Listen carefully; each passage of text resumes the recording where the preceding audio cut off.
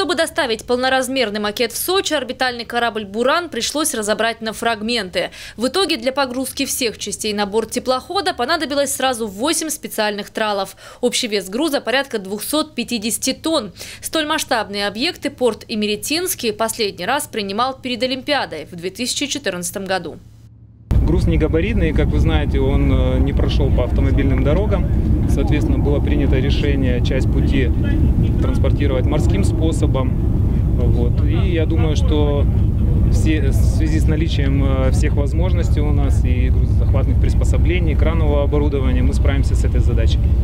Сложнее всего при транспортировке орбитального корабля было подобрать соответствующее судно, габаритные ограничения которого соответствовали бы размерам «Бурана». Некоторые части груза достигают 6 метров в ширину и 5,5 в высоту. В итоге по параметрам подошел теплоход Александр Ткаченко. Это же крупногабаритный груз, не каждый, не в каждый теплоход их краном можно погрузить.